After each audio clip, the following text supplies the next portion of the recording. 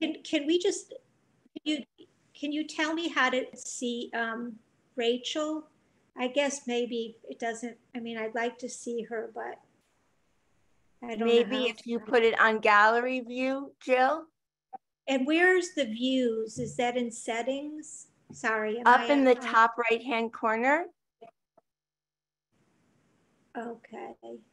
Hi, everyone. It's so great to see all of you here tonight. Thank you so much for coming. Did you figure it out, Jill? No, I'm sorry. I'm just, Sophia will write um, notes to you directly into the okay. chat. Okay, Okay. Thank you, guys. no problem. Welcome, everyone. My name is Jennifer Franklin, and I am Program Director of the Hudson Valley Writers Center. We're so happy to have you with us tonight to celebrate the new novels by Rachel M. Harper and Jill Bialosky. As always, I want to thank our founder and founding editor of Slapering Hol Press, award-winning poet Margo Taft-Stever.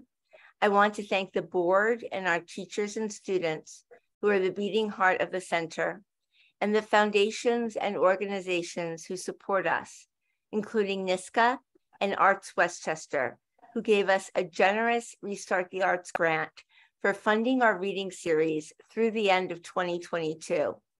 Thank you so much to my colleagues, Sophia Bannister, Christina Papadopoulos, and Natalie Sir for all of their hard work.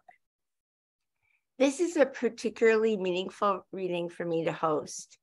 Jill Bialosky writes, especially in her latest book, The Deceptions, about all the subjects that obsess me in my work myth, betrayal, desire, mm-hmm. the way books saved me, the conflicts and turmoil between familial commitment and commitment to one's art, the Metropolitan Museum, and ekphrastic poetry.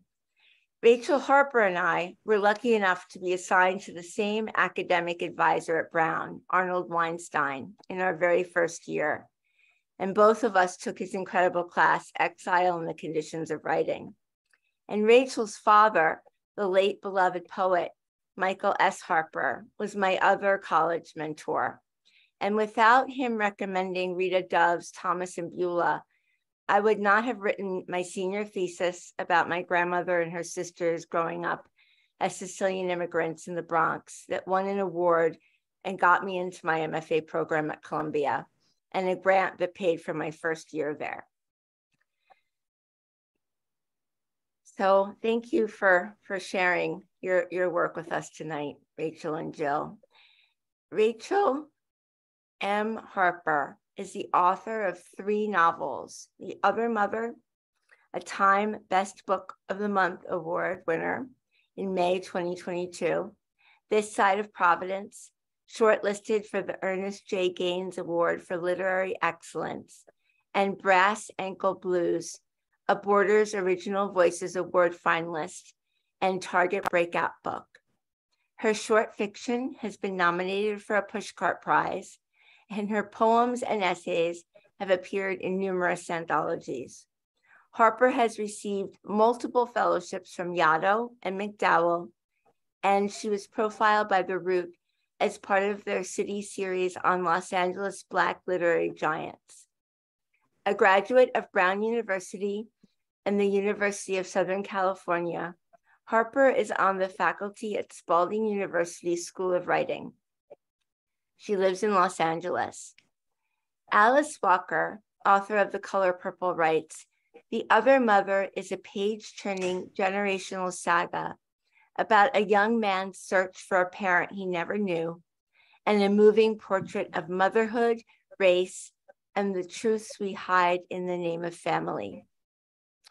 Publishers Weekly says Harper skillfully layers the narrative with accounts from various characters' point of view, capturing palpable emotions and the fissures running through their fraught relations, all the while handling themes of motherhood, race, and sexuality with aplomb. This adds up to a heartrending story. When Rachel was in conversation with Jacqueline Woodson at Powell's bookstore, She talked about the fact that she has been working on the other mother for a long time, even before she wrote This Side of Providence. She said she felt that she needed to become a better writer and grow emotionally to really write these characters and feel her way into every character's behavior. I am so excited to hear Rachel read from The Other Mother. Please help me welcome Rachel M. Harper.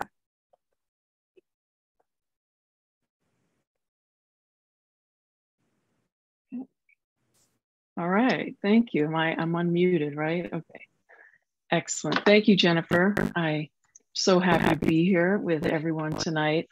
And uh, the Hudson uh, Valley Writers Center also holds a place in my heart because back about 25 years ago, I was actually with my father in person and we did a reading there in the little like train station.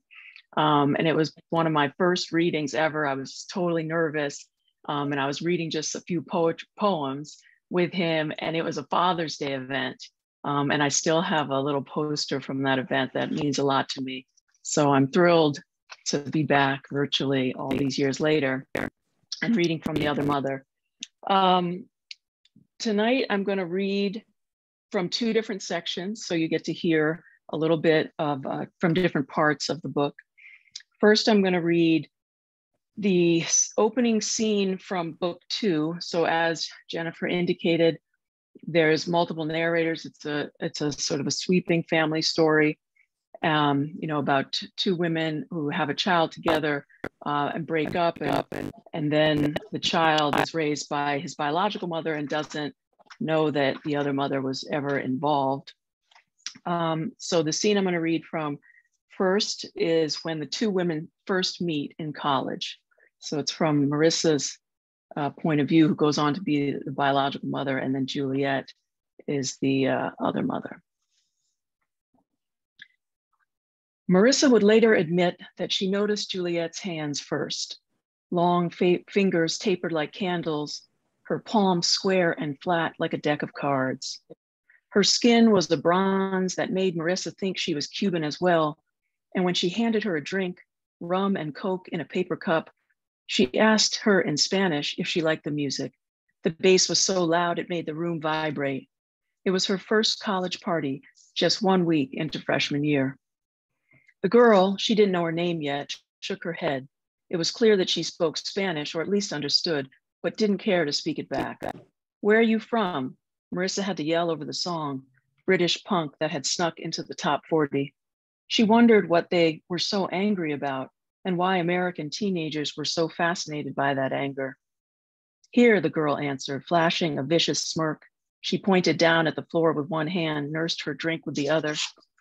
You grew up here in this house? They were standing in a 200 year old Victorian turned into an Ivy League version of a frat house. They both laughed at the absurdity. Only a few blocks away, actually, just off Hope Street. The music stopped as the record came to an end. Everyone in Providence seems to live off hope, Marissa said. The girl finished her drink in one swallow. That should be a bumper sticker. I think it is. That's probably where I got the idea. Marissa laughed again harder than she needed to. She stuck out her hand, not sure what else to do. I'm Marissa. I'm a freshman. The girl shook it hard, like she was used to shaking hands with men. Juliet. She lifted the cup to her mouth, chewed on the ice that remained. Are you a student? It was a dumb question, but Marissa just wanted to keep talking to her. Juliet shrugged. For now. She walked to the bar, a plastic cooler wedged into a child's red wagon, and got another drink. Marissa followed two steps behind. Her drink wasn't empty, but she held out the cup for Juliet to fill, her eyes on her hands as she poured the liquor. A drop spilled onto Marissa's finger, and when Juliet brushed it away, she felt a jolt at her touch. Marissa sipped from her drink. She hadn't wanted to come to the party, but her roommate had insisted, begged really claiming that she couldn't go anywhere alone. Marissa hadn't seen her since they'd walked in, her ponytail bobbing as she disappeared into the dark. There aren't a lot of us here, Marissa said, peering into the darkened corner of the room where people clustered together in groups of two or three. Juliet looked around the room. Women? Marissa shook her head. minority students. Juliet made herself another drink. I guess that's why we're still in the minority. Marissa drank from her cup. The rum felt hot in her throat. You always talk like that? Like what? Juliet asked. Like you're being interviewed. Marissa, surprised by her own candor, was about to blame the alcohol when Juliet laughed. Sorry, Juliet said. I grew up answering a lot of questions. Why, you famous or something? Juliet looked down at her hands. I could be, if I practice more. She stared at Marissa as if seeing her for the first time. I played the piano since I was young, classical mostly. She paused. Jazz, if my father isn't listening.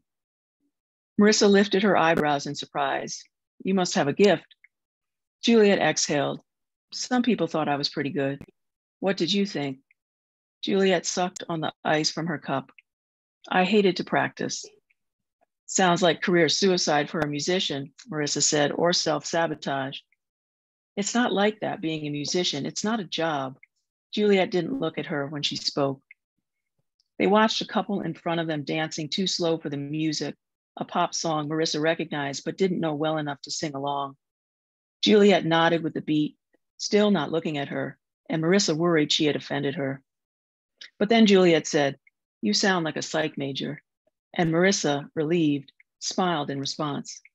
She had never been good at small talk, especially at the few high school parties she'd been allowed to attend, where they'd watched MTV videos in some kid's furnished basement and ate Pop Tarts and sipped on blueberry schnapps, wondering what the popular kids were doing. She hoped for more meaningful interactions in college. So far, she hadn't been disappointed. I have two years to figure it out, plenty of time, right? If you don't waste it, Juliet said. I spent my first year pre med before I realized nothing could make my old man happy. So I switched to music. You followed your heart doesn't sound like a waste to me. It is if I'm ordinary, Juliet said, a flat tone in her voice. Then she dragged the tip of her sneaker across the floor, toe, toe pointed like a ballerina, leaving a scuff mark on the hard wood. Marissa wondered if she was also a dancer. Do you still hate it? Juliet looked at her with a confused expression. The piano? No, silly, practicing. She watched Juliet tilt her head, wearing a look of complete concentration as she chewed on her bottom lip. Marissa, who had never wanted to French kiss anyone before, let alone another girl, began to imagine how Juliet's lips would feel against her mouth. I miss it, Juliet said, smiling to herself. Whenever I go a day without playing, her teeth shined brightly in the dark. But sometimes, just to test myself, I won't play for a few days, won't even sit at the piano. Why? Why separate yourself from something you love? Just to see if I can, Juliet said simply. A skinny guy in all black walked by carrying a plate of snacks. Juliet reached to grab a brownie, tossing the whole square into her mouth. Marissa watched the muscles in her jaw contract as she chewed. Then she added, I don't want to need something that much. It's like a fucking addiction. At 18, Marissa wasn't afraid of need, not yet. If anything, she felt intrigued by it, desperate to be held in its clutches. She would have given anything to feel that much desire for something, especially if she was good at it, if it made people notice her. Don't you think, Marissa said, there are healthy addictions? Maybe, but I didn't choose classical piano. My mother played, and when she died, Juliet shrugged, my father wanted me to be like her. Call me selfish, but if I'm going to be tethered to something, I'd at least like it to be something I choose. Marissa nodded. She realized it wasn't her business. She didn't know this girl. Why would her opinion matter? But then she found herself saying, It's never too late to choose something else, I mean, not till you're in the ground. Juliet shot her a skeptical look. Marissa felt suddenly hot. She wished they had AC in these old houses, wished Juliet would move closer to the window so she could follow her there. Are you religious? Juliet asked. Marissa wasn't quite sure how to answer. My parents are Catholic, she said. I'm asking about you. Juliet leaned in closer. Do you believe in God? Marissa could feel the warmth of her body, could smell the rum on her breath, and underneath that, her perfume, a salty musk scent with a hint of citrus. I think so, Marissa began. I mean, I want to, but I'm not sure it's a good fit. I'm not like my parents. Well, that's reassuring, Juliet said, reaching out to tuck a loose curl behind Marissa's ear. Most Catholics don't like me, or my kind. Marissa watched as Juliet's lips pulled back into a smile. She saw her start to laugh, but didn't hear the sound, as if all her senses had shut down except sight. She looked at her profile strong nose, high cheekbones, wide almond shaped eyes, struck by the realization that she had never seen such a beautiful face, like something out of a magazine. She memorized the rest of Juliet's body the baggy white t shirt, v neck, probably a man's, the jeans that hung loose off her narrow hips, Levi's, stonewashed blue, the white tipped sneakers etching rubber marks onto the floors, Converse, faded, dried, like a red, faded red like a dried flower. We all have to make our own God, Juliet said. I don't think I could play music if I didn't believe in something outside of myself. Marissa wanted to respond with something smart, something clever and inspiring, but all she could think of was, I like you. I like your kind, which sounded so pathetic in her head that she didn't dare say it out loud. Juliet drew the tip of her sneaker across the floor again, leaving a series of wide white scuff marks.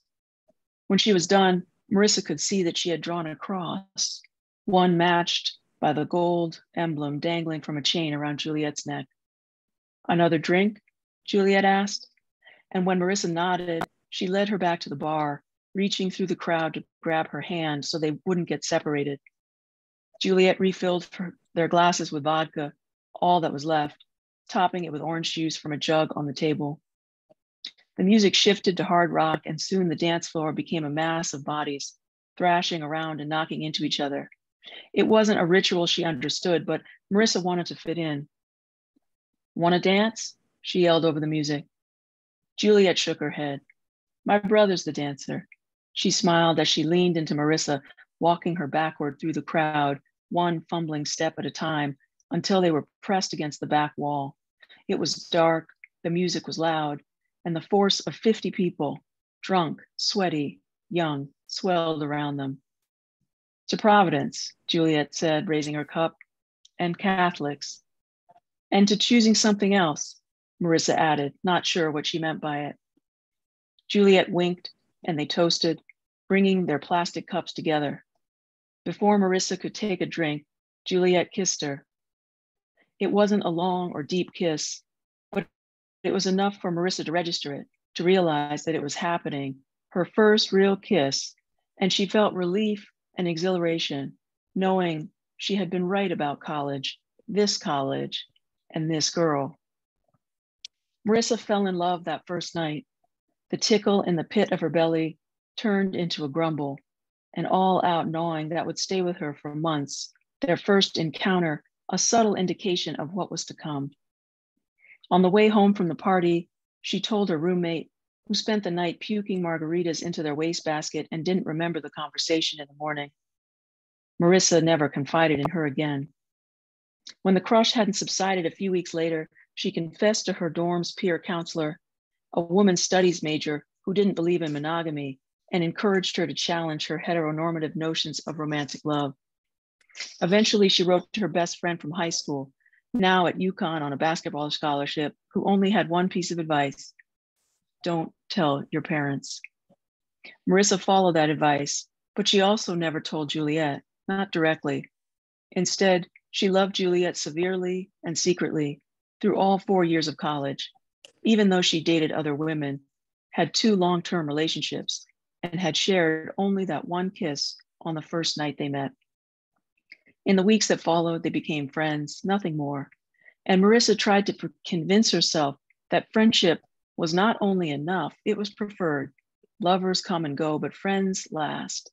And she desperately wanted, more than anything, for this relationship to last. She tried to get over her feelings for Juliet, but couldn't. No one else held her interest so completely.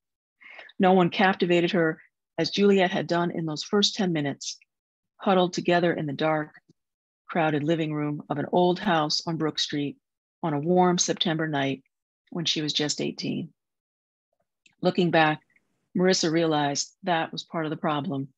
Her love for Juliet was old and desperate, set up from that very first moment to disappoint her. Her thirst so great, she thought she could settle for anything, convinced herself that even a sip would be better than nothing, when in fact, a sip would not even wet her lips, let alone satisfy her. Years later, when she did finally get that sip, a few sips really, maybe even a whole glass, it acted instead like a poison, eating away at the very thing that created it. Okay, that's the end of that first scene where they meet. And then I'm going to jump ahead couple hundred pages just to give a little bit of another character um, who is actually uh, Juliet's father. And he is a little bit uh, based on my father. For those who knew my father, you may you may recognize him. Um, he's a imposing, larger than life figure and a professor at the university. And throughout the course of the book, he's complicated. He and Juliet have a complicated relationship. They're estranged for time. And he does some fairly suspect things. So when I go to his section, I start with this part and a little bit of it that I'm going to read for you, which gives um, a little bit more humanity and, and sort of begins to show the some of the roots of his wound. Um, I was trying to just make him a little bit more likable. Okay, so his name is Winston. If asked how many children Winston has, his first thought is always three. Yet by the time he speaks, he has amended the answer one living, two dead. When Jasper was alive, he would say two, not mentioning the boy who came in between, the one he held only once and never took home. They named him before Faye went into labor, James Houston, after her favorite uncle. And though everything about him was a surprise, from his conception while Jasper was still breastfeeding to his shockingly early birth, they considered him a blessing. The pregnancy was normal in every way except its duration. At 33 weeks, and for reasons the doctor could never explain, Faye's water broke and her uterus began to contract ushering their second son into the world on a wet night in April when Jasper was just two years old. There was no way to stop it, so the doctors prepared an incubator and warmed flannel blankets, ordered medicine to help his immature lungs, but it didn't matter. The baby could not breathe on his own. In every other way, he was perfect 10 fingers and toes, a strong heartbeat, which Winston felt against his fingertips when he touched him for the first time, his hands scrubbed raw with disinfectant soap. And he noticed the fine features of his mother, including her light brown eyes and a cap of silky dark hair the nurses longed to comb. The following day, at just 23 hours old, after a night in the NICU where the attending doctor had spent his shift manually inflating the ventilator to keep the baby's lungs from collapsing, they turned the machine off and took him out of the incubator to lie in his mother's arms for the first and last time. Winston could not look at the boy. Instead, he focused on his wife, her eyes bloodshot from pushing, her skin blanched with heartache. He held her hand and watched the tears pour from her swollen eyes. She didn't wipe her face clean, and neither did he. He was afraid to touch her, the baby lay perfectly still, like he was dead already, but they both knew he wasn't. Not yet. She didn't rock him, but there was a sway to her embrace, her mother's instinct wanting to comfort him, soothe him, even though he showed no signs of distress. He seemed to be sleeping, dreaming even, as his eyeballs twitched under the delicate skin of his eyelids, a smooth and shiny silk.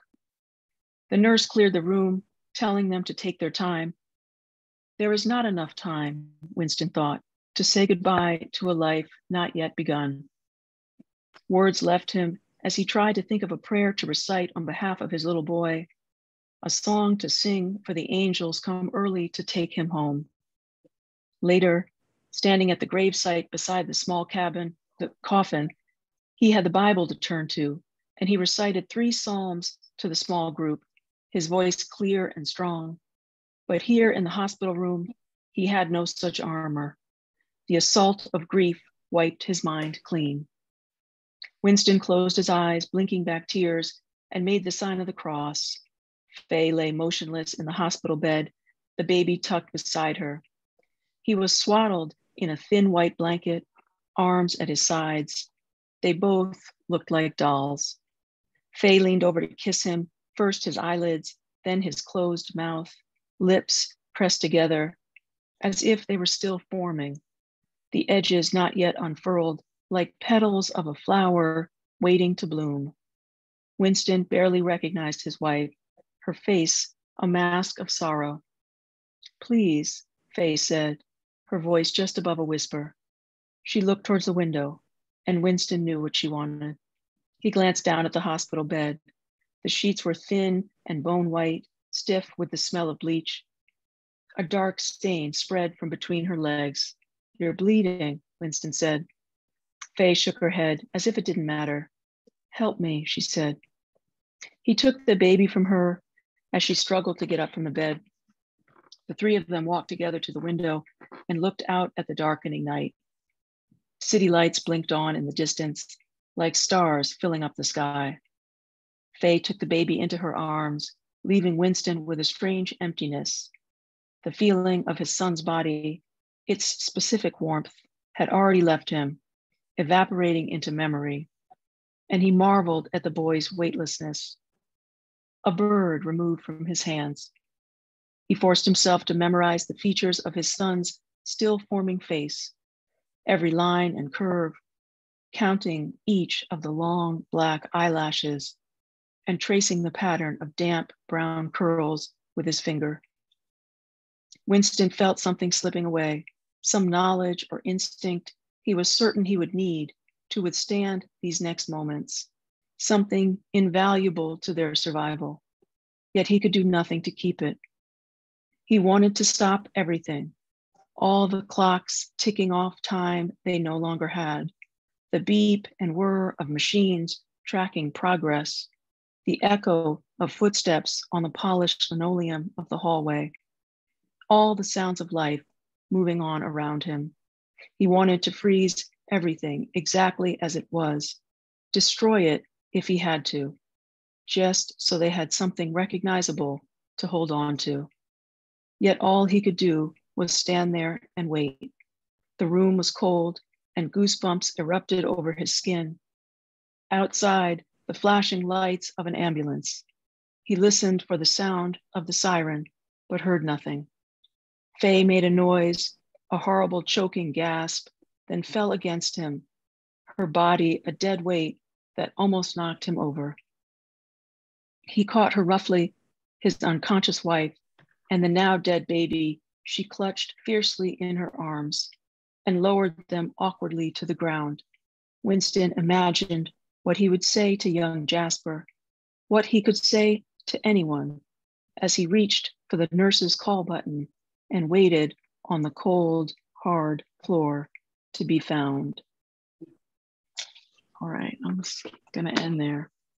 Thank you so much. Thank you so much, Rachel. That was wonderful. Thank you for that great reading. And now I'm going to introduce Jill Bialosky. She is the author of six acclaimed collections of poetry, three critically acclaimed novels, and two memoirs, including History of a Suicide, My Sister's Unfinished Life, a New York Times bestseller.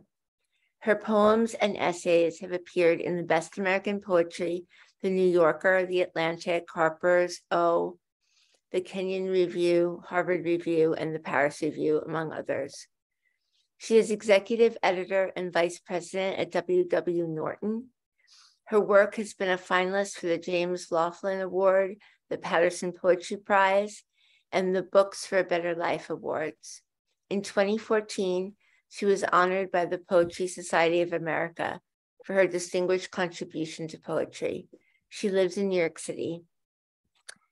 The Deceptions is an explosive tale of art and myth, desire and betrayal from New York Times bestselling author It was just included as part of the millions most anticipated in the great second half 2022 book preview.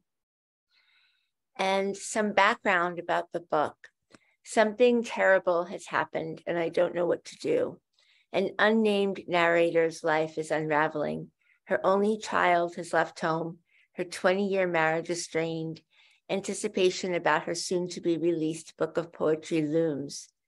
She seeks answers to the paradoxes of love, desire, and parenthood among the Greek and Roman gods at the Metropolitan Museum of Art.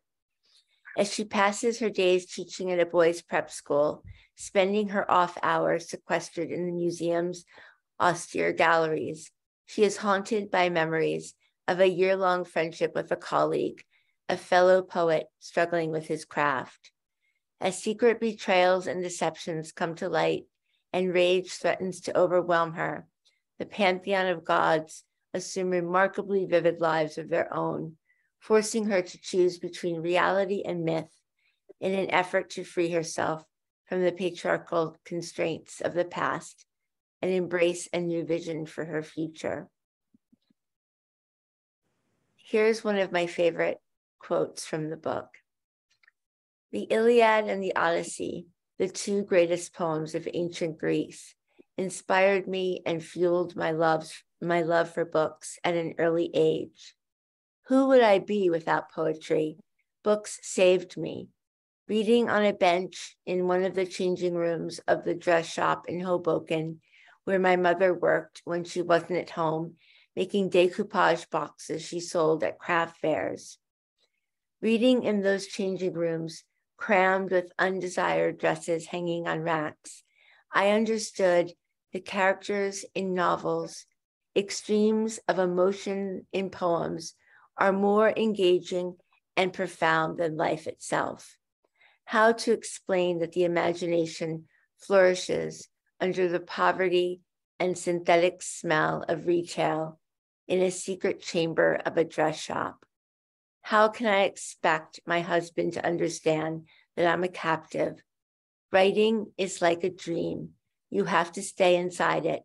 But this I cannot say for fear he'll think me self serving. I quail with my defiance. My anger roils inside me. Please help me welcome Jill Bialosky. Oh, um, Thank you, Jennifer. Thank you for such a, um, a lovely introduction and for um,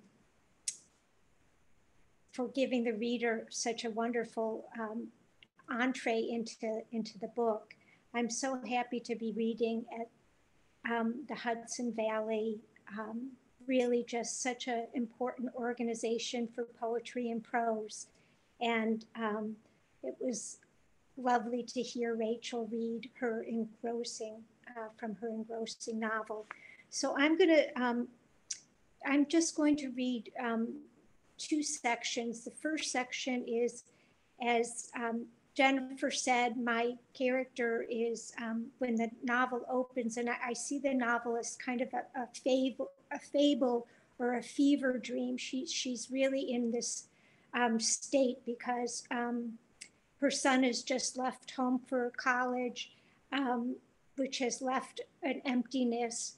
And she's having to, um, she's in a, a crisis. She's in a crisis with her marriage. She's in a crisis because something terrible has happened and she doesn't know what to do, which is something that echoes throughout the book. And this is a section um, where she's in conversation with her next door neighbor. And her neighbor is like her, her um, doppelganger.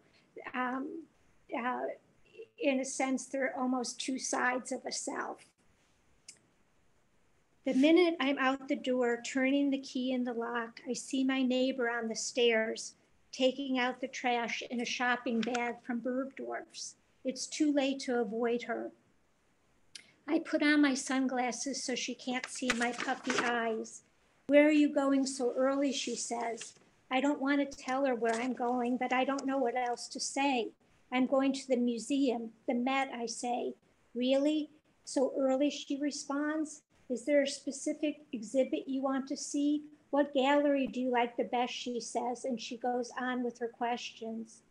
It is where I go to be alone, to think and restore, but I don't say it. My mother brought me to the museum every Christmas when I was a girl. Each time we explored one specific gallery. It got so I knew which gallery to go in a particular mood when I was on my own, lonely to the Impressionist wing. I'd imagine myself in a Bonnard courtyard or bathing on the grass in a painting by Seurat. When I longed for love, those statues of Rodin's lovers, yearning for a child off to view the Renoir or Degas portraits of young girls and Mary Cassatt's young mother sewing. The Temple of Dendur was where I went to mourn my babies. Sometimes in my greed, I believe it belongs only to me. My first kiss was in front of the Jackson Pollock painting that takes up an entire wall. I can't go into that gallery without thinking about it. Someone, maybe it was me, said one's first love is the key to the heart, but that is another story. To honor the tradition, I took my son to the museum when he was little. He loved the shining knights, the Egyptian tombs, and the temple. My husband had the gym and the track with him. I had the museum. Beauty, it is dangerous, it consumes, it perpetuates, it leads us to desire, reveals our darkest emotions. I took my son to the museum when he was against my chest in a snuggly, and the top of his head hit my chin. I could simply tilt my head down and kiss him at will. People used to stop me to marvel at his long eyelashes and dark hair with a violet ring around his crown when the light hit it. I brought him I brought him when he was interested in touching all the objects and he was not allowed to touch them and we learned this lesson. Then I brought him to the temple of Dendur when he was learning about the Egyptians and was required to write a report for school on mummies. To celebrate my birthday, we'd always end our time at the temple strolling around the walls until eventually he felt free enough to tell me about Olivia, his girlfriend, or the first time he smoked weed. The only way I can get him to tell me about personal stuff is when he doesn't think he wants to talk about it. I've long deemed the museum my second home, but I don't want to tell my neighbor. Can you sit for a sec? She asks. Her eyes are red. She clings to my arm. I can see the strap from a thin negligee under her silk Japanese robe. On the cold marble stairwell steps, she locks her arm in mine and tears puddle in her eyes. What's wrong? I say. Her body is warm. I feel her tentacles attaching to me like a prickly burr, but I don't know much. I don't know how much I can take, she says. The bloke has no time for me. Marriage is not for the faint hearted, I say, and shake my head in consolation, in conciliation. My son always liked her Aussie accent. He had a crush on her as little kid, liking how she fawned over him, asked him questions, flirted with him like she does with everyone. At times I wished I was more like her, not so tightly wound, protected. My son adored her twins when they were little, a girl and a boy two years older than he is. They were so sweet with him, though sometimes her son would get angry if my son beat him in a game and he'd send him home and he would sulk until I could distract him. He should have been a twin too. He was, he is. But our daughter, his twin, died shortly after birth. His sister's now only a ghost. Once I caught my neighbor's daughter brushing my son's hair while she sat very still. Over the years, I became close with my neighbor's daughter. She's introverted, awkward, a reader, the brightest in her class at Emily Dickinson, my son's sister school. She was valedictorian when she graduated. She read my poetry, came to my readings, and we discussed literature together, books we both were reading when she was in high school. My neighbor worried that she shut herself in a room too much. She complained her daughter was critical of her. My neighbor wanted her to be more social, worried that she rarely went out or she kept herself apart when my son came over to play. I long for those days when my neighbor and I lounged on her Italian velvet couch, drinking Chardonnay while our boys trashed her apartment, which was three times the size of mine. My neighbor has a good eye and great taste. She was an art history major in college. It puzzles me that she doesn't take herself more seriously. I like my ma- my neighbor's husband, but I don't like how he treats my neighbor. That's it. It's as if he's harboring anger that has nothing to do with her. I see this sometimes in people who are unexamined. Of course, all of us are capable of self delusions, even when we think we know ourselves.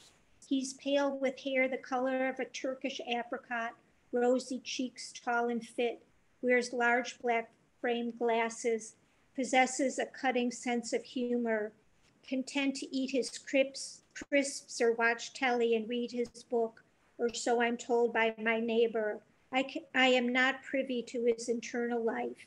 He dislikes the word work he does, complains it's too stressful, says he plans to retire early. He's a selfish prick, my neighbor continues, always thinking about himself first. I'm sorry, I say and shake my head. Can you believe it? He's planned a hunting trip with chaps from work on our anniversary weekend. He didn't remember. I had to buy my own engagement ring, she says. He didn't have time to pick it out. I look at the light catching on the yellow stone, the size of a dollop of fresh cream in a cup of coffee. I automatically bring my thumb to my ring finger, searching for my, for my ruby engagement ring, but there's only the thin wedding band. I shouldn't complain. He's not like those cheap kangaroos loose in the paddock, I once stated, but I can't help it. He drives me crazy. Do you know what he said to me? That he needs to be serviced. This is what I'm living with, she says. Did he really say it that way? I ask. It's what he meant, she says, and rolls her eyes. My husband and I call them the odd couple She's extroverted and he's mostly unsociable and withdrawn. On occasion, we enjoy their company, but she has the habit as soon as we sit down for a meal to bombard us with questions. What do we do on the weekend? What movies have we seen? Where are we going on holiday? I'm stunned into silence. Listening to her chat about where they've been, the people they've seen, I'm reminded I don't have much of a social life. There's so little time with teaching, writing, my family, that this is not something I'm willing to disclose to my neighbor. My husband likes her husband's cutting sense of humor, and they enjoy talking about sports. He has affection for my neighbor too, but behind her back calls her chatterbox and wonders how her husband puts up with it. I remind him that it's impossible to know what goes on between two couples behind closed doors.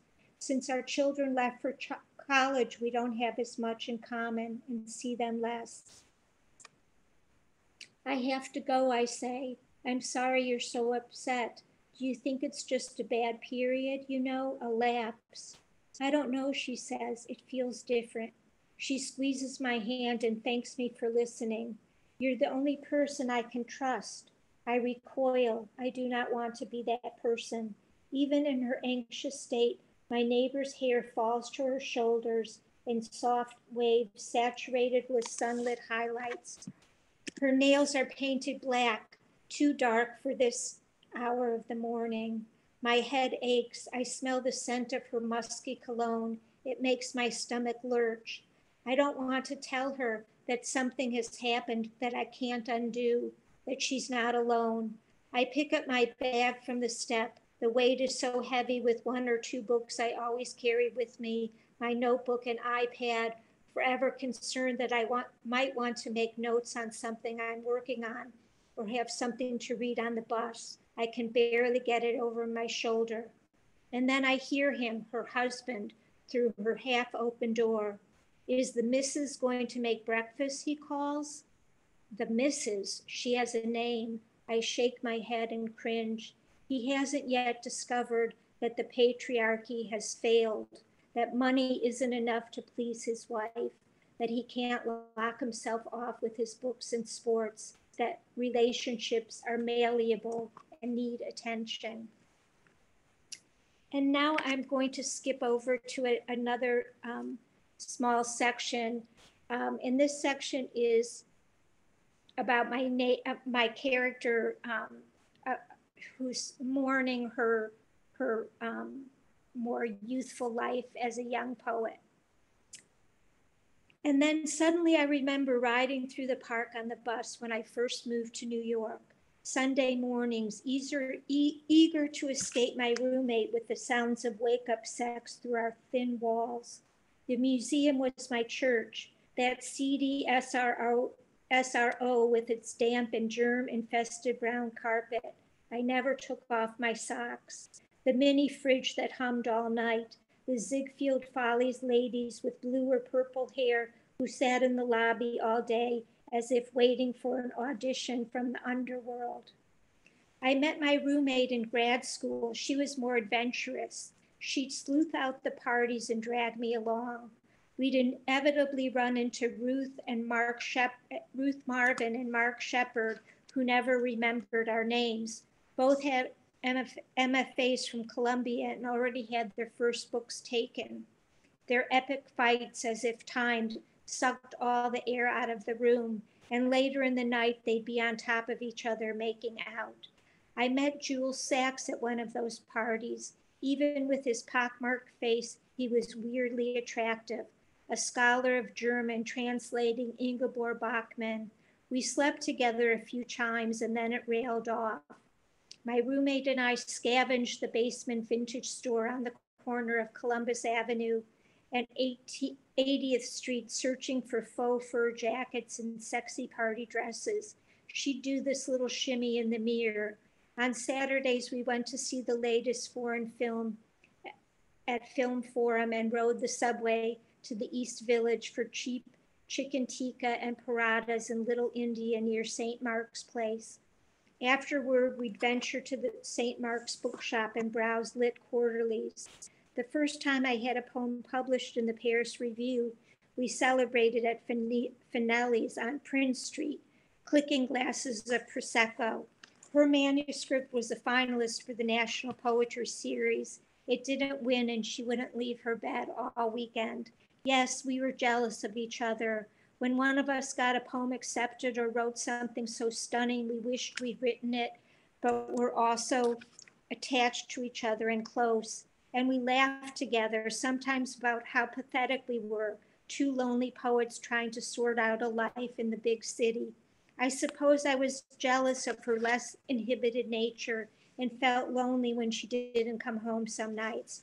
And I think she was jealous of me too. She always said I had a focus she lacked. Of course, she had more frequent boyfriends than I did, and I was envious of how she could open herself to men. She mooned over a Puerto Rican poet who performed at the Nuyorican Poets Cafe.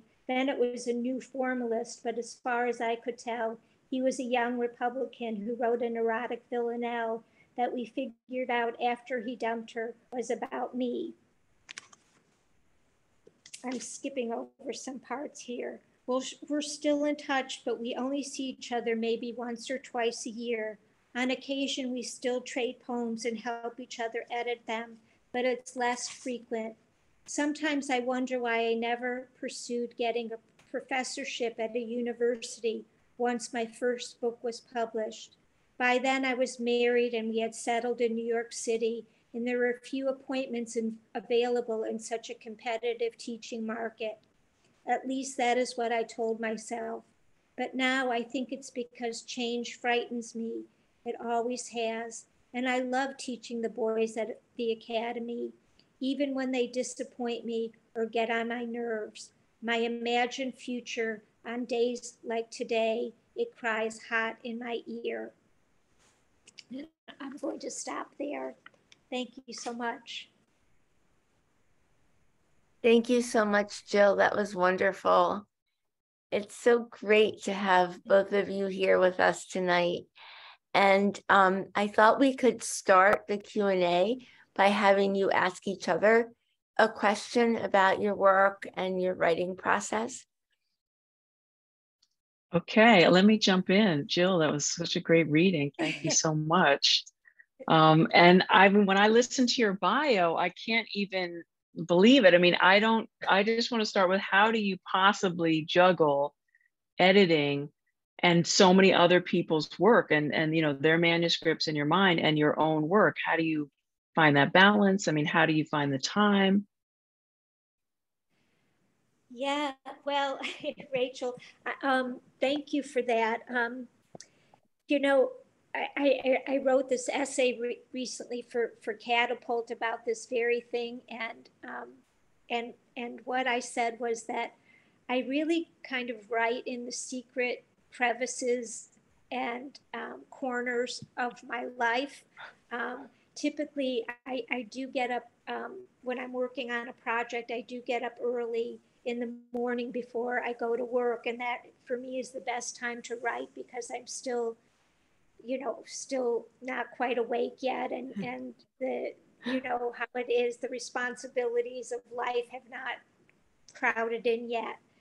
Um, yeah, I have a weird process. I also kind of tunnel in on the weekends and even on vacations. I sometimes go to like a hotel for a, a week to try to um, work on a draft. So it's it's a little scattershot, but it works for me in in its own strange way because I don't know if you are like this, but I sort of always think about whatever I'm working on is like it's like a secret, and um, that kind of urgency and secrecy about it sort of works for me in this strange way. It creates a kind of urgency, um, mm. you know, when I don't have a full day to, to work on my, my writing. Um, so yes, it is a balancing act, but after many, many years, I, I've really come to rely on this strange practice of mine. I'm curious how, how, how does that work for you? Um, what is your writing I mean, it, Yeah, it's similar, you know, especially when my kids were really young. Um, I did that that same thing of, of waking up before the house uh, was what I would always say. And, you know, that was usually around five, just to give myself, you know, like a good, you know, hour and a half, two hours before I belonged to anyone else, you know, before I checked emails and sort of got in the world. And same with the teaching. You know, a lot of times people ask me, like, how do you balance the, the teaching and the writing? And it's the same thing because it's like a different you know part of my my mind. And even my own work like i don't edit first thing in the morning i usually do the writing. And and really like that fresh like you're saying when you're part asleep it's like this, the dreamscape you know allows a different fluency.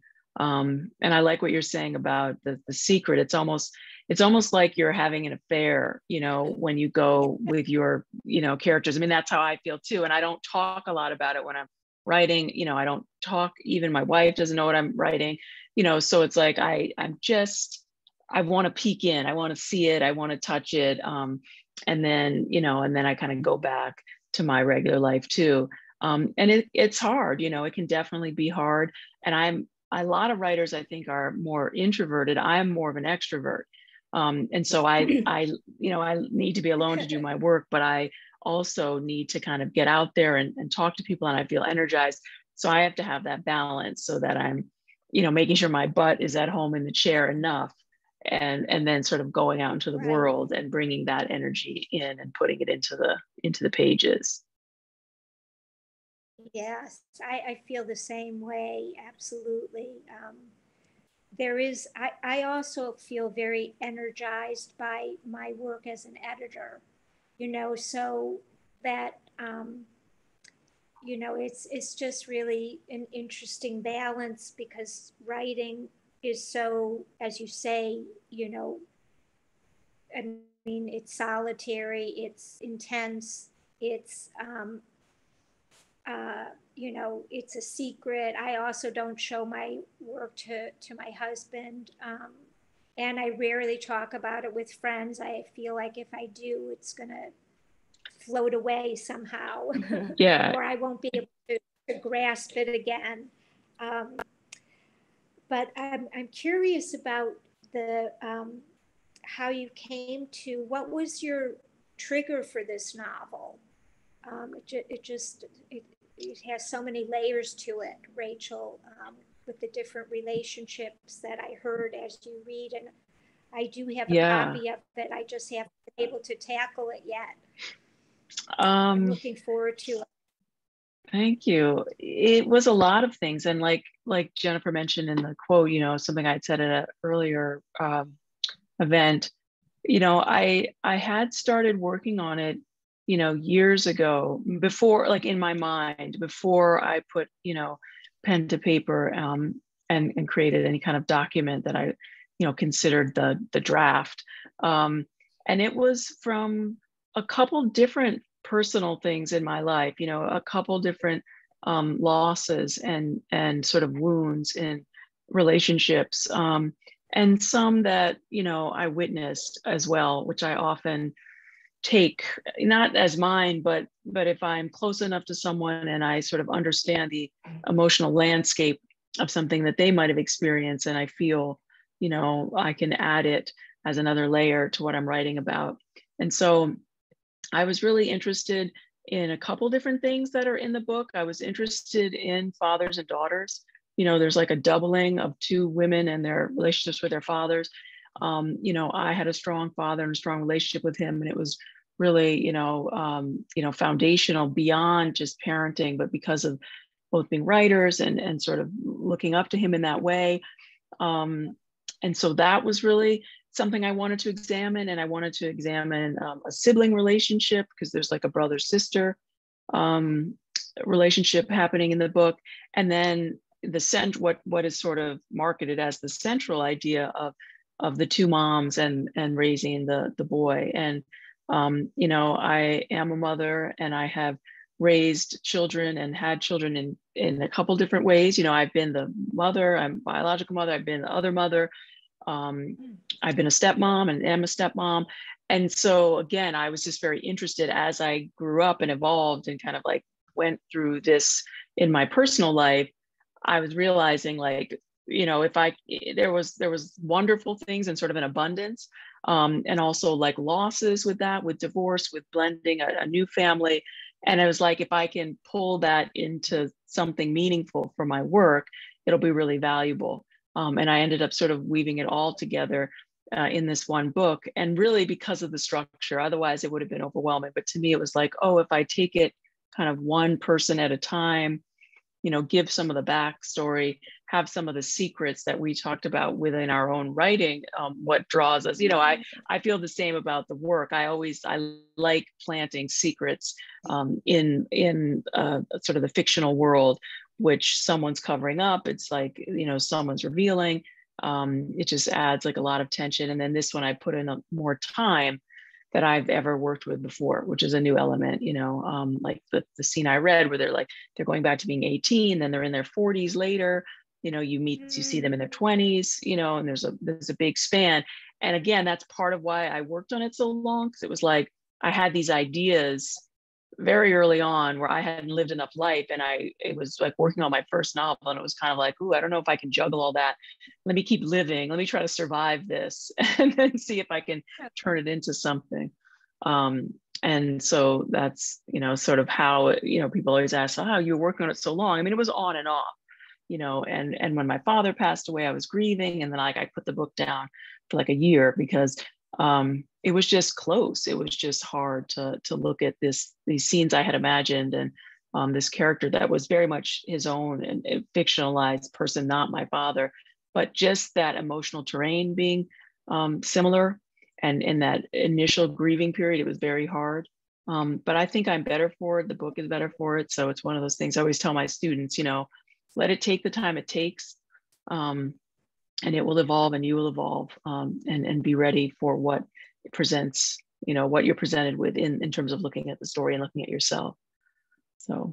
Yeah, absolutely. Yes. Um, I try to tell my authors that as well. There's no reason to rush through a novel. I too um, do a lot of layering um, over pretty long period of time that my novel, um, The Deceptions, I think was a five or six year period. that I was working on it on on and off. Um, yeah. And what type of outlining do you do? Like, are you one of those writers who's like very clear about what what it is before you go into it, or are you able to kind of let the story unfold and and are you open to like discovering things as you go along? Yeah, I'm more the latter. Um, the, my the deception sort of started um, actually. Um, I was in a. I was really grieving when my only son went away to college, and I felt, um, you know, really in this kind of identity crisis that I had you know, I had been juggling so much in my life about, you know, um, being a mother, a wife, an editor, a writer. And then suddenly this big part disappeared. And that was kind of the beginning of the novel for me. And then I went to the Metropolitan Museum of Art um, into the Greek and Roman rooms. And um, for some reason, and I, and I, have been in those rooms before, but for some reason, um, you know, this these these um, sculptures and statues and artifacts of Roman and Greek societies and these kind of patriarchal structures kind of came alive for me. Um, and I decided that I I would have my central character be a teacher at an all boys school because I also wanted to explore in this book ideas of, um, you know, agency as a poet and, um, and power and how one finds one's agency. And then kind of the Me Too movement unfolded, and I somehow began to channel my own anger that I wasn't even aware that I was so angry. and so I allowed um, this voice to really unfold um, in, in kind of this crazy fever dream that happens to her. Um, and I just, yeah, I, I didn't have a plan at all. But as years ago, a, a writing teacher told me that when you're working on a novel, the most important thing is to make sure that you have a job for your character. And once I decided she was going to be a poet and a teacher at an all boys school, it started clicking into place. Mm. And then the Greek and Roman gods and goddesses, I began taking pictures on my iPhone when I was at the museum. And somehow these myths come into play in, in the narrative of this novel. Um, so yeah, it, I'm the for me, sort of the characters start telling you what to do and where to go. And I find that really um, scary um, yeah. not to actually know exactly where it's going, but um, it's always served me well. Um, also in poetry, not to know where a poem is going, you know, that one idea springs forth something else, something unexpected. Um, yeah, I totally. Yeah, I see we have a couple questions in the chat. Um, okay, are we supposed to be looking at those? We have some questions in the chat, know. but I would just okay. like to ask, since you brought up Jill about poetry, um, and I know that Rachel uh-huh. has written poetry and, and short stories. Um, how do you navigate the different terrains when you when you write in a different genre? How is it similar for you? How is it different for you? And why um, do you do you do both? Mm-hmm.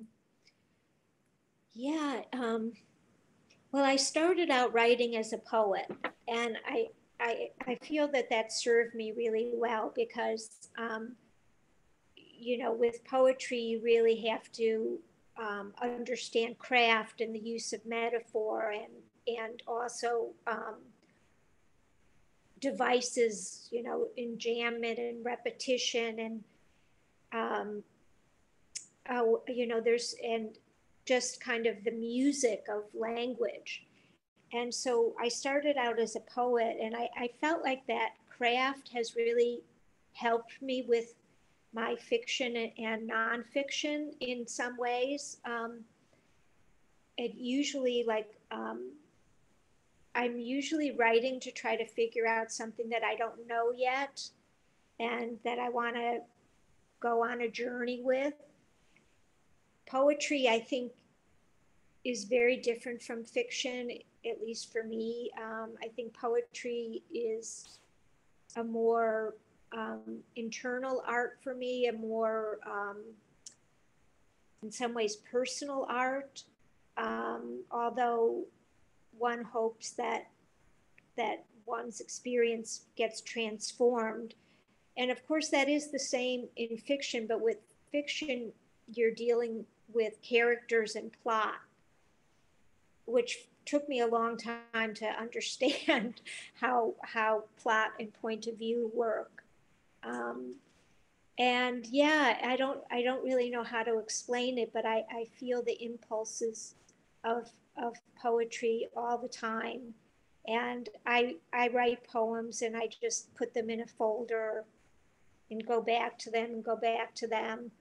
And um, and with fiction, I feel that I feel like I could sustain. Um, I, I love playing with characters and developing characters and um, you know it's it's you really are creating your own world and i feel sad when it's all over. I, I actually miss them. Do you feel yeah that me way, too. Rachel?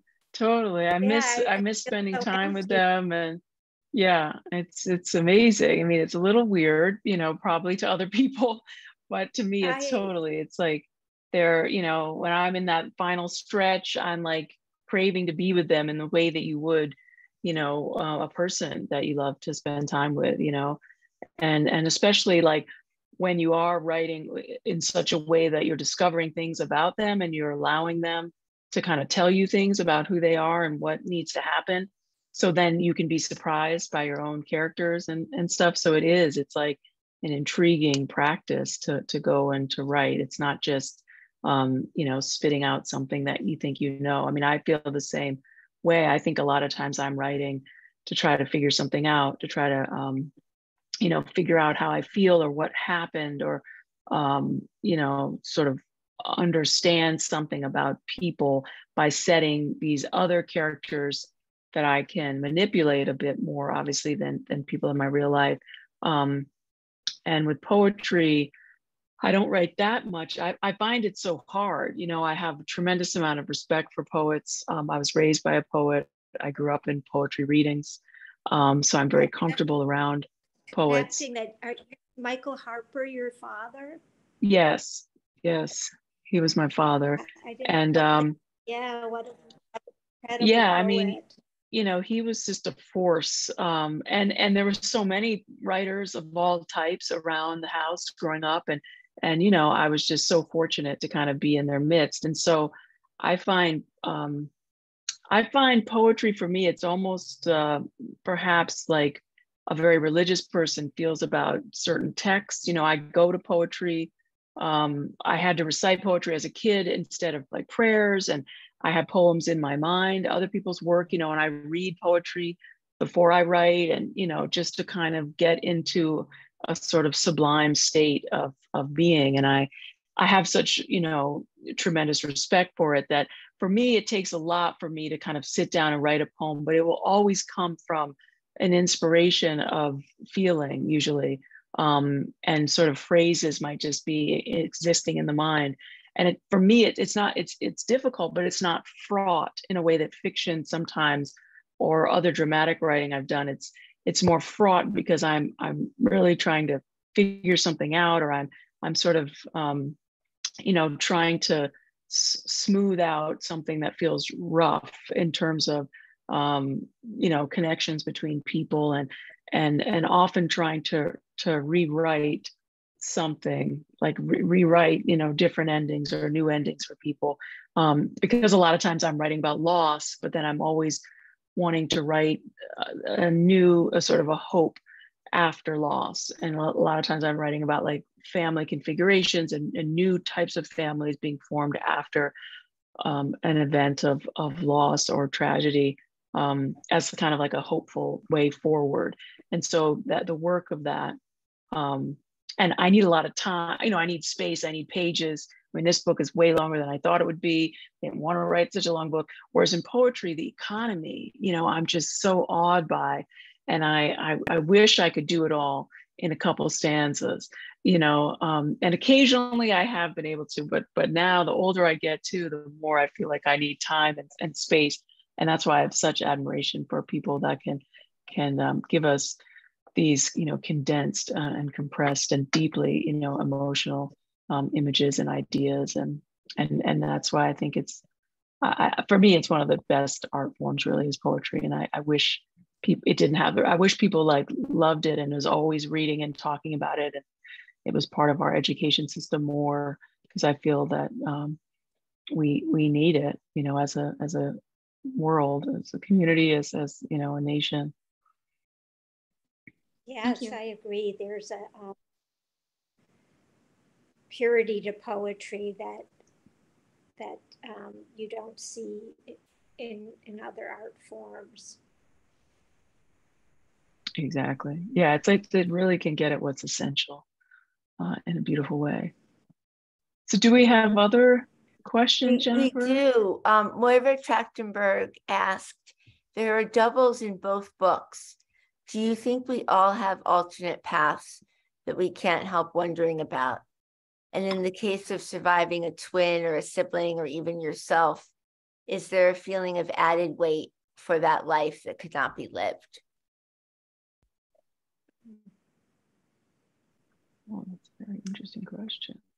Yeah, that is a, that is interesting. I, will um, in in um, in my book there are doubles. Um, as I said, um, at one point um, it, when I was working on the deceptions, and the, the neighbor um, has a part in the book as it goes along um, I almost decided that um, that she would be made up. That she's kind of a vehicle for my. I use her as a vehicle for my protagonist to think about her own marriage and her own life, um, and because they're very different and, and, and yet they're in a similar crisis. And then um, the twinning of, you know, um, having um, my character having twins in one being um, one having died slowly after birth. So when I gave a reading um, in Cleveland, where I'm from, one person in the audience had, had was you know stunned me by saying that she had read all my novels and that in each one there was there were was a twin that was lost. So that kind of really freaked me out because I hadn't realized that, and she was right. So, you know, subconsciously, I, I I'm not quite sure what that's all about. Um, but um, you know, I think that the idea, of course, is of of loss. You know that my narrator in the in the novel um, has suffered a loss, and um, you mentioned that Rachel too about loss in your work, and you know I've had a number of losses in my life, um, and that's just always there. It always seems to rear its head in some way that I need to go there again. So that's how I would answer the question, not, not the best answer, but an intriguing question for me to think more about. Uh, thank you, Maura. Yeah, I feel like I need to think more about that too. I mean, I I feel like in my in this book, you know, there's there's the doubling of, of roles, you know, um, and the way I've structured it, it's like there, you know, there are two moms and there are two grandfathers um, you know that we get to, to, to meet and two sons um, and you know a lot of more sort of and i think of it as like the as maybe the you know they're they're not mirroring each other but but the roles are designed to mirror each other. Therefore i'm interested in in being like tilted off that and how they're how they're similar but different all of those roles um, and all of the the way that people work in our lives um, in terms of the expectation of, of what this role is going to be and what that job of that person is going to be in your life. And then how that can shift and how you can try again and how when it seems like it goes wrong you know some of the relationships end because there's a death but but the main one in terms of Jenry and the moms there's this opportunity to to start it again. And then he has to figure out well, what would that mean to have two mothers um, for him after after not knowing that's how he was intended to sort of come into the world and, and came into being. And is there space for the other one and what does that look like and how can they play different roles? Um, and so that was something i was conscious of examining but i do think there are probably other things that on the subconscious level um, of, of doubling things that i haven't been aware of. Um, but that's something i'll continue to look at because I, I do find it interesting just sort of in life and and in my own work. I thought of it structurally as kind of echoes where you've got the one book is the mother then the other mother you know the grandfather the other grandfather yeah. the son the other son yeah. so i was thinking of it in that way but i'm sure there are others woven in so i, I do think i appreciate that question Thank you for those answers. Another question we got in the chat is what suggestions might you have for a poet interested in writing a novel? Good luck. no, no, I'm kidding. Um, you know, I, I don't know. What I would say, I think, um, is that if you have a story to tell, then you probably have a novel in there. I mean, I remember with my first novel, um, I was at um, I was a, in graduate school as a poet at um, the University of Iowa, the Writers Workshop there. And um, I read a lot of fiction when I was there. And um, I read for the first time Marilynne Robinson's novel Housekeeping, which was just such an incredible novel. And that novel when I read it, I realized that I had a story that I wanted to tell in fiction. And then I had to figure out how to write, you know, how to learn the craft of fiction. So I think that my advice would be yes, if you have a story to tell, um, many first novels come out of some kind of autobiographical just um, way, as we've been talking about, about um, fiction and poetry being a way in which one tries to understand something. And to me, I would say that those are kind of the three things that drive a novel is you have a story you want to tell, you have characters that intrigue you or you're going to build characters that intrigue you and then you have an argument or some kind of question that's driving the novel forward. Um, that would be my answer. And, and also taking workshops on the practical level could be very useful. I, I had I never took a fiction writing workshop, but um, in retrospect, I think it might have saved me some years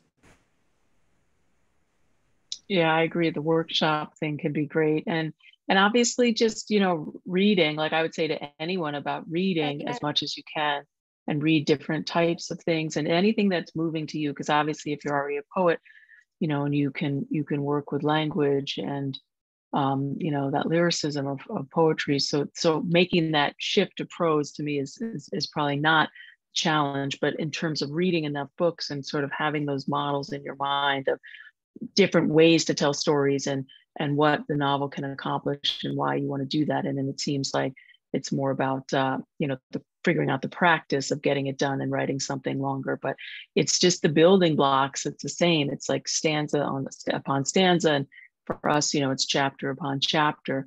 Um, but i remember the before i wrote a novel it was kind of like how do people do it? How could I possibly sustain a narrative for like two or 300 pages? It was just like, you know, the longest like paper I'd ever written was like 25 pages or something. It was just like, that just seemed like, you know, crazy. And, and a friend of mine, you know, who had written a novel was just kind of like, you know, chapter, one chapter at a time, kind of like, you know, the, the famous bird by bird, um, you know, and it, and it, it works, you know, I mean, it sounds sort of trite, but it really, it really works just as you're getting comfortable and just just trying to imagine the scope of a of a story and what it will take to to, to sustain something that long. Um, and so yeah i think workshops and getting that kind of support could help as well.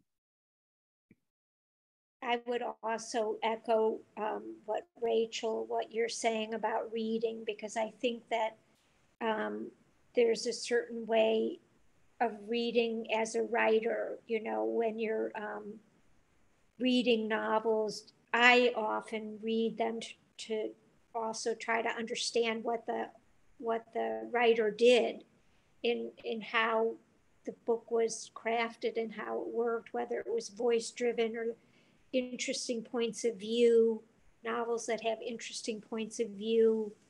Um, so I agree that reading is key it was key for me. Yeah, definitely. Thank you for those answers. I guess we have time for one more question. Um, Cindy Beer-Philly wanted to know how you choose which narrative voice to use, um, first person or omniscient narrator. And do you know from the start or do you try several approaches? Um, that's interesting. You know, I think for for this novel, once I knew I wanted multiple narrators, then it, it was a question of whether I was going to do first or third. And I had more experience doing first person, and I wanted to really challenge myself. After my last two novels, you know, my first novel was sort of a traditional coming of age story. It was first person, um, and that was it. And then the second novel had multiple narrators, but they were each first person, and they were much shorter sections, um, more like Faulkner's As I Lay Dying, where you're just moving fairly quickly. And in this one, I was like, I want more time with each one. So I came up with this idea of the books. But then I did want to challenge myself and I wanted to see if I could do third person in an intimate way.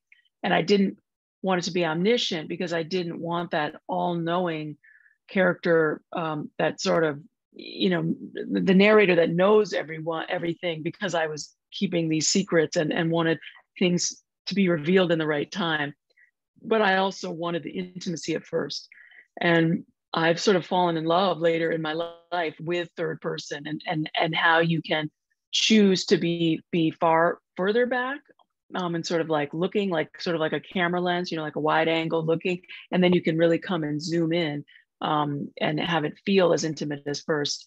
Um, and so I played around with that, and and to me, it just felt like it natural. It just fit for for this one. Um, and a lot, a couple of my colleagues had noticed. They're like, "Oh, this is like the first thing when they were hearing me read, like over the years at at university I teach, like listening to years of me reading the first person narrators. And they're like, "This is different," and you know and um, i wasn't always comfortable with it but i felt like it served the story and that to me is an, another important thing to to try to distinguish as a writer like when you're serving the story and when it's just something you want to do or like you like it or you think it's easy and it's like that's often part of the you know process of sort of like getting distance on your own work and maybe the revision process is is realizing it's not just about what you want to do it's what's actually going to serve the story best and the characters best. And sometimes you end up doing things that aren't as comfortable for you but they they sort of work better. Um, and you know that's that's my experience.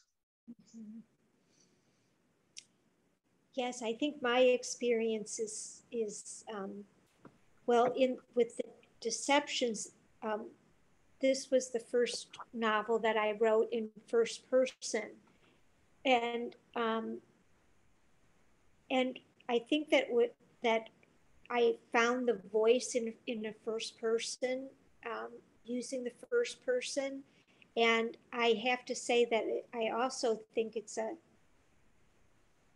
I didn't know if I could sustain it. Um, because you know you're always just in one character's head and then you have to figure out how to make the other characters come alive through just one person's perspective. And so i found that very challenging but also um, refreshing to to write in the first person.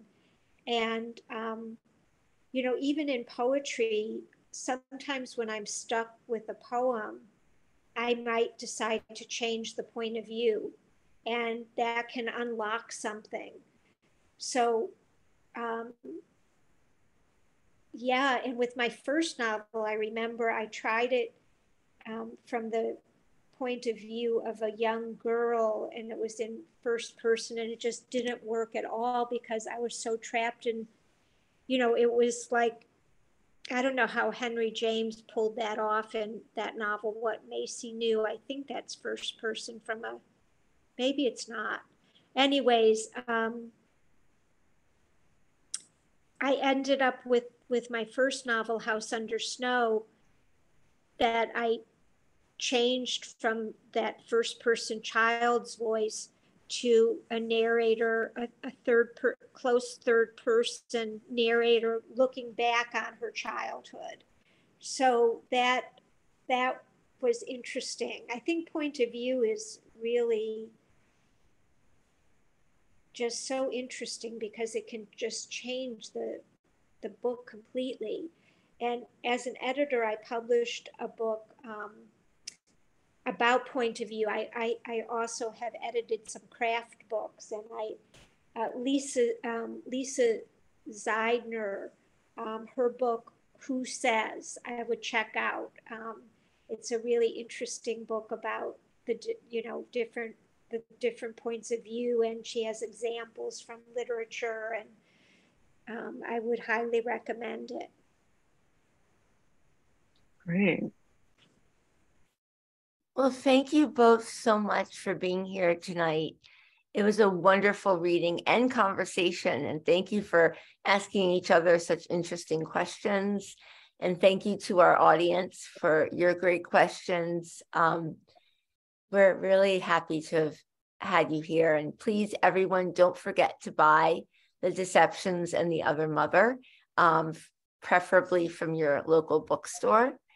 Um, and when you see Jill and Rachel in person, hopefully someday at the Hudson Valley Writer Center, they will sign your books for you. Yes, we would love that. Thank yeah, you so much. We would love to have you come back, Rachel, in person. Um, Jonathan Blunk, who's here in the audience tonight, actually thought you were going to be here in person and was so disappointed oh, to find out that it was on Zoom because he was inviting people to the train station for it. Um, oh my but goodness. We will, we will have you both in person um, when the pandemic is more over than it is now. Yes, I would love that. I would love that. Yeah. Yes. All right. Thank Thanks you so everyone for, yes, Thank- thanks for signing on. Yes. Thank you, Jill. Um, and yeah, everybody have a good evening. Jill, good luck with the rest of your Yes. tour. I know it's just beginning. Well, I've done a lot of events already in September, but yes, thank you, Rachel, and I hope to meet you in person um, soon. And um, thank you, everyone, for being here, and thank you to Jennifer for creating this fun event. I enjoyed it. Thank you all so much. I have, yes. Okay. Good night. Bye. Take care, everyone. Bye. Bye.